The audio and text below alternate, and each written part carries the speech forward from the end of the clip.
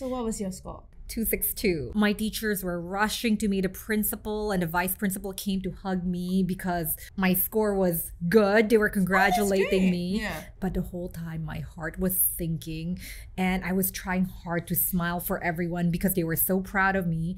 But I just knew that I will be in trouble because I missed the cutoff point for my school, the school that my mom wanted by one point.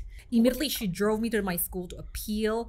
and I remember she just kept yelling at me because she wanted me to write the appeal letter the way she wanted to. Oh the Oh whole time in the car ride, she was yelling, How dare you get to 62? How dare you? Oh and that was such a traumatic core memory for me, but she doesn't even remember. She's just like, I don't remember doing that. Oh my like, God. Yeah, for you, it's just another another, Another day. day. but for me, that was one of the moments I can't forget ever.